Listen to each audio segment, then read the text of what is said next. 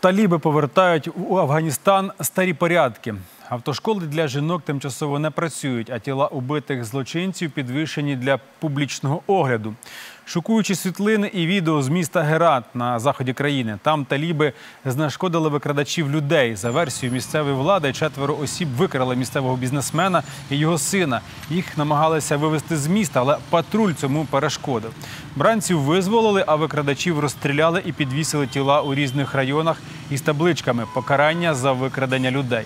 Це урок тим, хто захоче вчинити подібний злочин, коментують у міській владі. А от новий уряд продовжує давати уроки етикету та поведінки порядних громадян. Серед нововведень заборона на селфі, заборона на високі білі кросівки та інші атрибути західної моди. Суттєво обмежені права жінок. Їм вже заборонили займатися спортом. Багатьох скоротили з роботи, закрили школи. До речі, перша автошкола для жінок формально відчинена, але відвідувачок немає. Таліби заявили, що не можуть гарантувати їхню безпеку.